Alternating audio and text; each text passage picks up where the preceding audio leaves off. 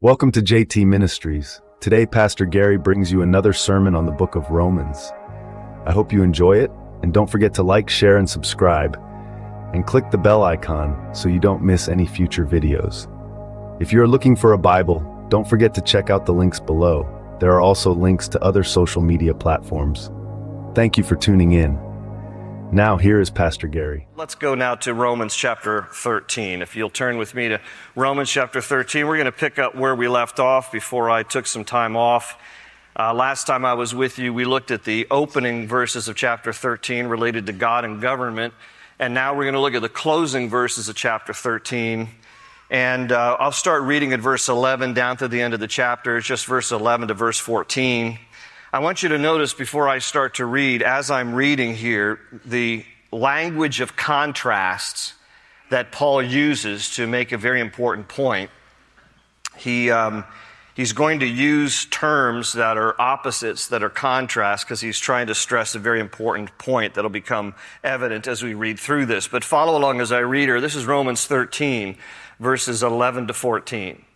Paul says, And do this knowing the time. That's very important. Underline that. Do this knowing the time that now it is high time to awake out of sleep. For now our salvation is nearer than when we first believed. The night is far spent, the day is at hand. Therefore, let us cast off the works of darkness and let us put on the armor of light. Let us walk properly as in the day, not in revelry and drunkenness, not in lewdness and lust, not in strife and envy, but put on the Lord Jesus Christ and make no provision for the flesh to fulfill its lusts. Now, if you notice here, as I just read through that, Paul uses these contrasting terms. He talks about darkness and light. He talks about night and day. He talks about being asleep and being awake. And he talks about casting off and putting on. And he is using these terms to stress a very important point that all has to do with, look again at the beginning of verse 11, knowing the time. Knowing the time. I've entitled my message today, What Time Is It? Let's pray and we'll dive into this passage together. Lord, th- thank you for this day. Thank you for those who are here. Thank you for our online viewers. We just commit all this to you, Lord, asking that you'd use your word to speak to our hearts today. We're always wanting you, Lord, to change us from the inside that we might be more like Jesus. So I pray for those who don't know you that they would come to know and surrender their lives to you.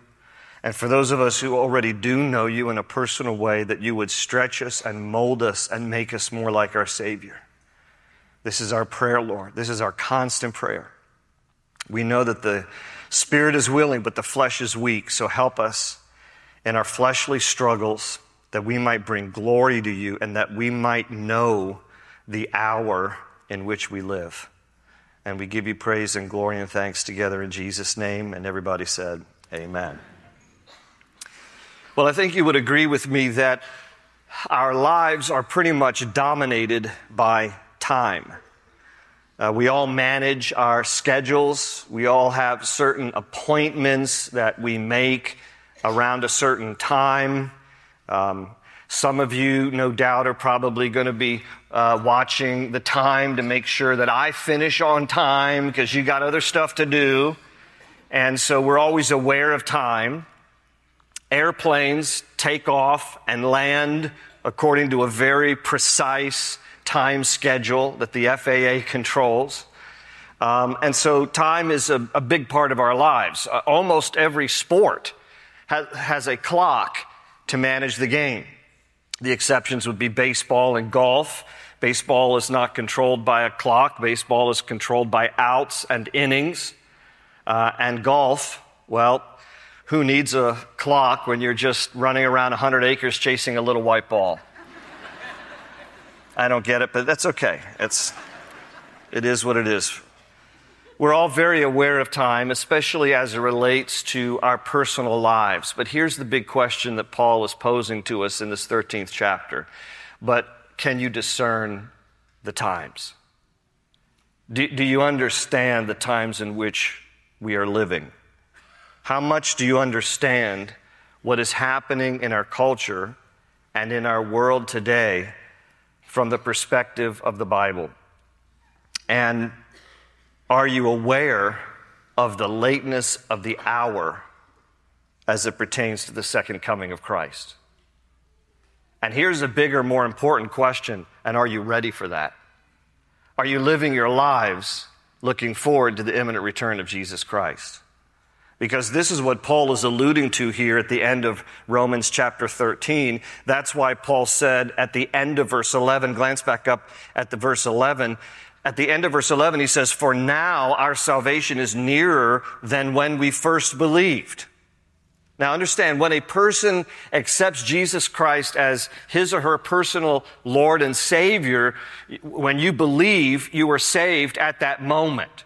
You are saved from God's judgment. You are reconciled to God and that relationship with Him begins at the moment you believe you are saved. But the fullness of our salvation is not realized until we are with the Lord.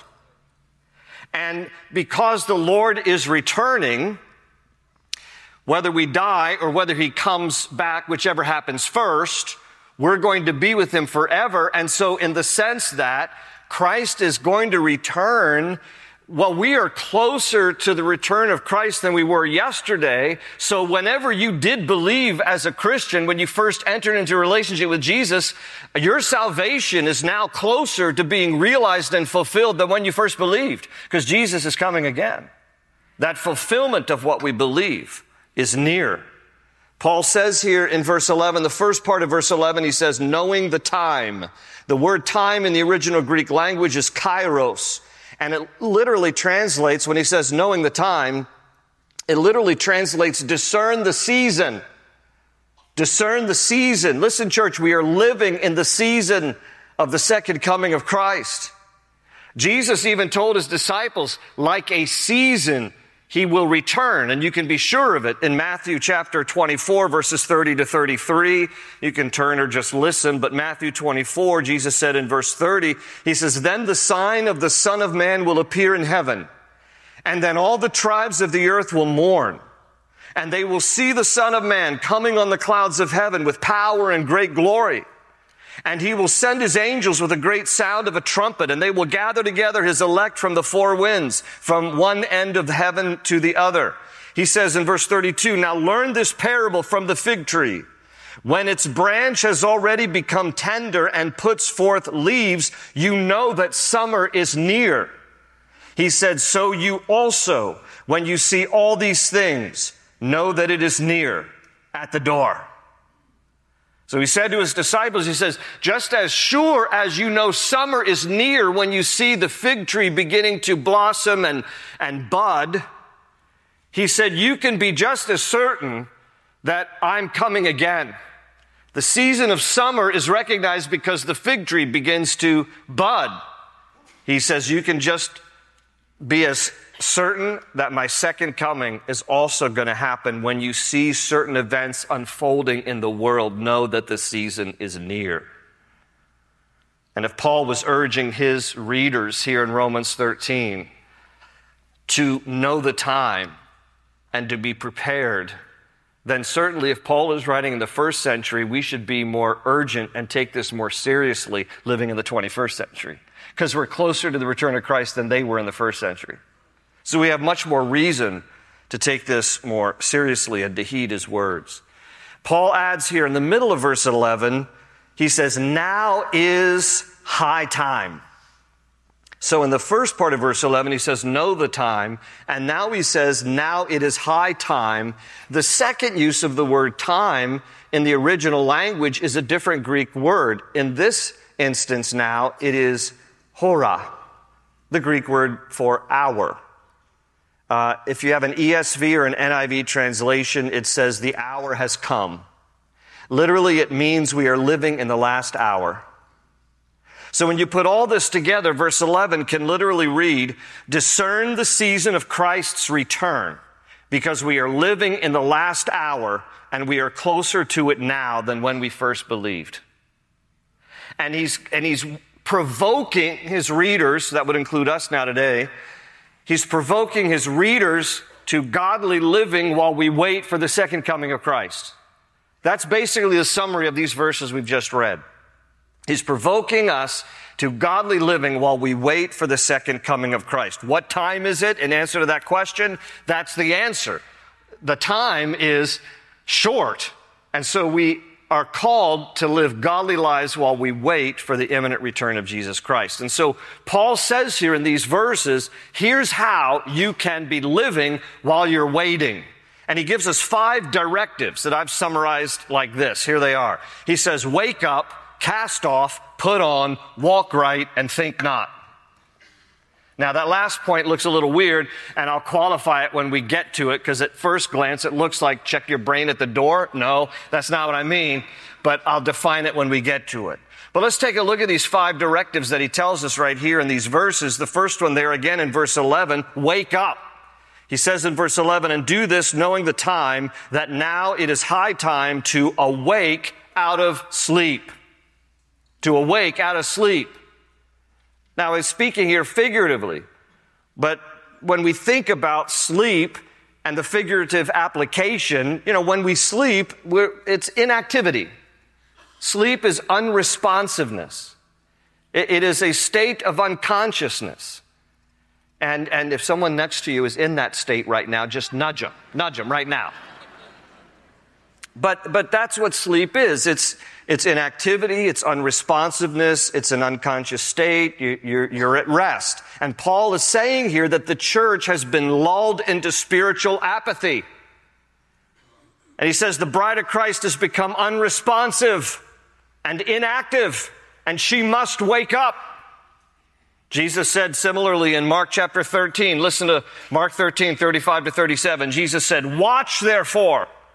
Watch therefore, for you do not know when the master of the house is coming in the evening, at midnight, at the crowing of the rooster, or in the morning, lest coming suddenly he find you sleeping.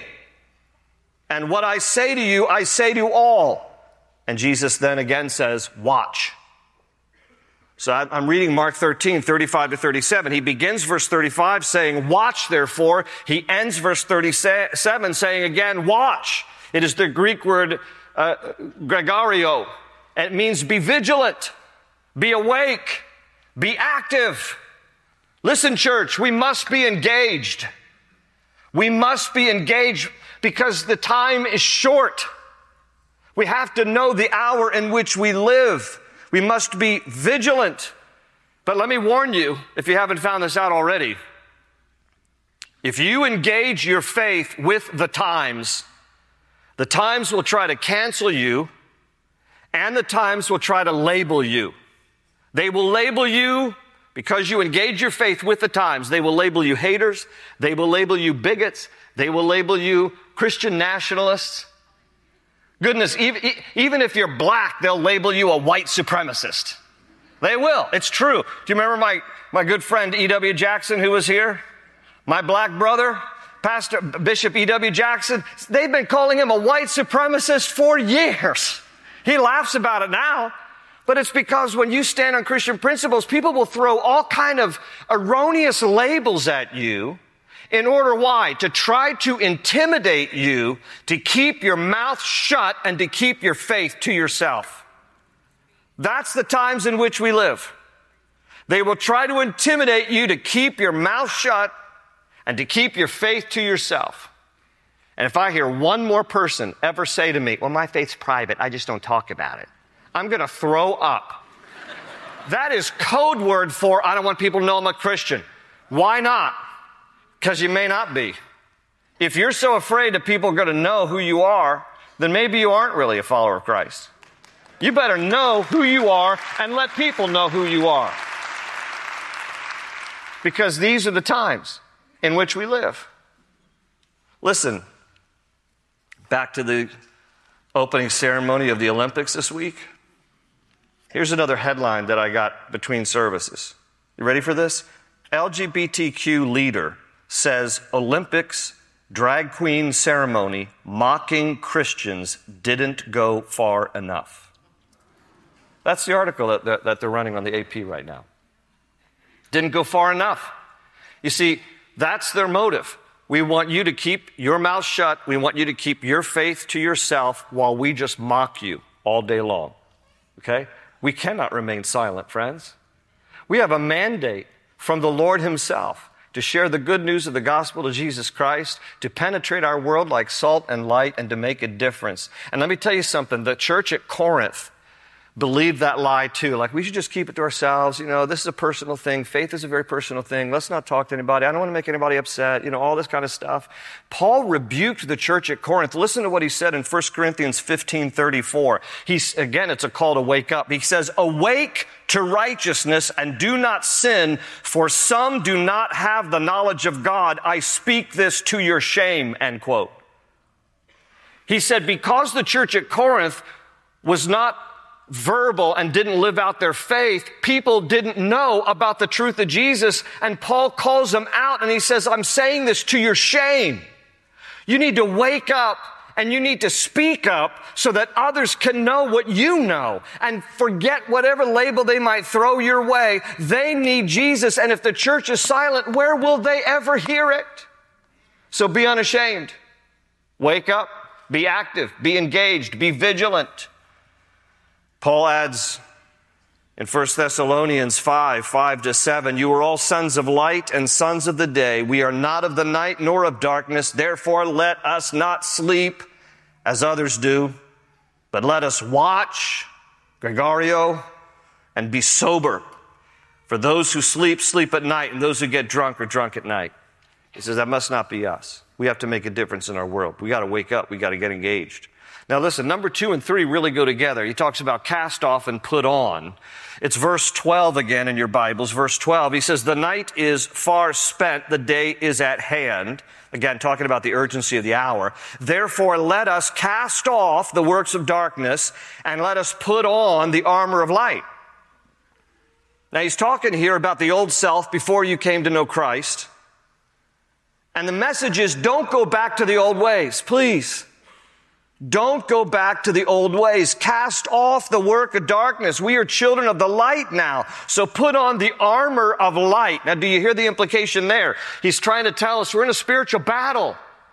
Put on the armor of light. Walk as children of light. In order to do that, we better know who we are in Christ.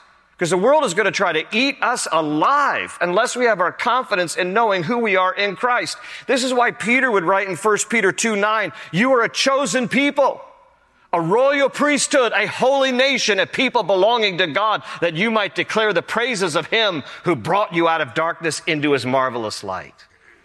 That's who we are in Christ. So therefore, we have to cast off the old ways. We can't be living like we used to live before we came to know Christ. And by the way, it's not only about casting off and putting away the old self, it's also putting on. It's also taking on new habits and new disciplines. Listen to what Paul would write in Colossians 3 12 to 13. He gives us a short list. Here are a few things you can put on now that you're in Christ. In Colossians 3 12, therefore, as the elect of God, holy and beloved, put on tender mercies, kindness, humility, meekness, long suffering, bearing with one another, and forgiving one another. If anyone has a complaint against another, even as Christ forgave you, so you also must do. That's just a short list of a few things to get us started. Paul's like, okay, listen, put off the old self. You're new in Christ now. Understand who you are. Get your identity in Christ and then put on his ways. Put on the presence of the Lord. And so he says, here's a few ideas. How about you work on some tenderness? How about you work on being kind? How about you work on humility? Okay, humility is the one thing you can strive to, to have, but never say that you do, right? Because the moment you say, I'm humble, you got to start all over. You got to start all over. Meekness. Meekness is not weakness. Meekness is just honoring the Lord. Long suffering, being patient. Patience. How well do you do in patience, huh? Not one of my virtues, friends. I get impatient at the drive through at McDonald's, ladies and gentlemen. Like, speed this line up. Bearing with one another. Oh, and this last one that he talks about here, forgiving one another. And he says, as Christ has forgiven you. That's a tall order. So, how about we start there? Just a few things to put on to be more like Christ, less like our old selves. And then, number four on this list, he's, he tells us walk right. I want you to walk right. I want you to wake up. I want you to cast off, put on, and walk right. It's verse 13. He says, Let us walk properly as in the day, not in revelry and drunkenness, not in lewdness and lust, not in strife and envy. Walk properly, walk right. Now, I, this harkens back to a story that I, I, shared before here. This happened about 25 or 30 years ago. I was doing a wedding at the Old Post Chapel at Fort Myer, on the, on the base of Fort Myer in Arlington, Virginia. And uh, there was the wedding coordinator. I showed up for the rehearsal the night before the wedding, and the wedding coordinator meets me there. She is a general's wife, and she ran that wedding like a general's wife. Let me tell you something. And so during the rehearsal, I think this was the wedding for Tim and Lisa Haley, who are longtime members of our church. Uh, during the rehearsal, the bridesmaids were walking in what used to be 25 or 30 years ago a kind of a common thing. It was like a staggered gait. And so they would, they would, you know, have their little bouquet, and this is the rehearsal only, and they would do this. Remember this? And the general's wife clapped her hands and stopped the music. She says, Stop that! Ladies, do you walk like that normally? The lady's like, no, no, we don't know. She says, then don't walk like that in the wedding tomorrow in my chapel. Like she owned the chapel. I mean, it wasn't really hers, but like she owned it that day. You will not walk like that in my chapel. You will walk properly. Every time I read anything in the Bible that says walk properly, I always think about that general's wife. She had a clipboard. I, am standing next to her during the ceremony, during the rehearsal, and when she says all that, I'm like, well, I better, I better straighten up. I, I better be turning my Bible just right, or she's going to pounce on me. You know, so walk properly. Now, obviously, uh, Paul is using this here in a figurative sense. He means your walk with Christ. He means your daily relationship with Him. Does it reflect Him or your old life? Of drunkenness, lewdness, lust, strife, and envy. He says, don't walk like that. That's the old person. You see, you need to walk properly. You need to walk in your relationship with Christ in a way that honors and recognizes Him, not your old ways. John would write in his little epistle, 3 John verse 4, I have no greater joy than hearing that my children walk in truth. Walk right. The last one is think not. Now, I told you I was going to qualify this because really the rest of what Paul is saying here is think not how to gratify sinful desires. That's what he says here at the end. Verse 14, he says, But put on the Lord Jesus Christ and make no provision for the flesh to fulfill its lusts. Make no provision. It literally means give no thought to. If you have an NLT, a New Living Translation, it, uh, it, verse 14 reads this way. Instead, clothe yourself with the presence of the Lord Jesus Christ and don't let yourself think about ways to indulge your evil desires. Don't let yourself think about ways to indulge sinful desires. See, we all know this, but it's, it's worth reminding us every day. The battle to resist or to give in to temptation is won or lost in the mind. I'm going to say that again. The battle to resist or give into temptation is won or lost in the mind because we first think about it and then decide to act on it or not. This is why Paul says, make no provision. Don't even think about how to gratify the flesh because most sin, almost all of it, is premeditated. We do some things and later we go, oh, why did I do that? That was terrible. I'm sorry, Lord, forgive me. But most sin, we think about it before we do it. It's premeditated. That's why it is so important. I've quoted this verse many times. It's, it's a verse that I'm constantly wanting to work on, 2 Corinthians 10.5 myself. 2 Corinthians 10.5 says, We demolish arguments and every pretension that sets itself up against the knowledge of God, and we take captive every thought and make it obedient to Christ. If you don't take captive every thought and make it obedient to Christ, you're going to give in to temptation every time. But if you fight that battle in the mind and you take captive every thought and you say, Lord, I'm not going to, I'm not going to go down that, that path. I'm not going to think about the, the, this, these thoughts I'm having about indulging the sinful nature.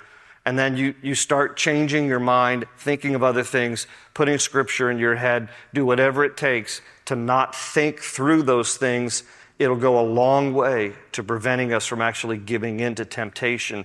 And that's why Paul says here, I don't want you to make any, don't make no provision for the flesh. Don't coddle the flesh. Don't entertain the flesh. Don't negotiate with the flesh. Okay? You can't negotiate with the flesh. The flesh is insatiable. It always wants to dominate. A person, uh, when they get saved, their spirit is regenerated, but their flesh is not. It's not until the day that we die and our spirit separates from our body that those sinful desires will then go away. In the meantime, we wrestle. We have a battle within. And that battle is going to be won first in the mind, because if we take captive every thought, then we can resist temptation. But if we entertain our thoughts, negotiate with our flesh, coddle the flesh, then we're going to give in every single time. Paul says, don't even make provision, don't even think about it. So, what time is it? The answer is it's time to live godly lives until the second coming of Christ. It's time to live godly lives until the second coming of Christ. We need to wake up, cast off, put on, walk right, and think not how to gratify sinful desires. I'm going to close with this passage, very similar to what Paul would say to young Titus, Titus chapter 2, verses 11 to 13. He says, For the grace of God that brings salvation has appeared to all men it teaches us what teaches us? The grace of God. It teaches us to say no to ungodliness and worldly passions and to live self controlled, upright, and godly lives in this present age while we wait for the blessed hope, the glorious appearing of our great God and Savior, Jesus Christ. That basically summarizes what we just read in Romans 13, 11 to 14. I want us to say this passage out loud and together. Can we repeat this again out loud? Repeat it with me. For the grace of God that brings salvation has appeared to all men. It teaches us to say no to ungodliness and worldly passions and to live self controlled, upright, and godly lives in this present age while we wait for the blessed hope, the glorious appearing of our great God and Savior, Jesus Christ. Father, this is our prayer that we would live upright, godly lives waiting for your return. Help us, Lord, to wake up, to cast off, to put on, to walk right, to not even think about how to gratify evil desires. We want to be ready for your return. We don't know the day or the hour, but we can sense the, se- the season, and we can know, Lord, that we're living in the last times. So help us to be faithful and to be ready for your glorious, imminent return. Find us faithful, Lord. The world might mock us, try to silence us, but help us, Lord, to always represent you well, to live out our faith in such a way that honors you. But we cannot and must not be silent because this world needs what we have, and it's the last hour. Put that urgency in our hearts for the lost, for a world that might mock us, for a world that might hate us.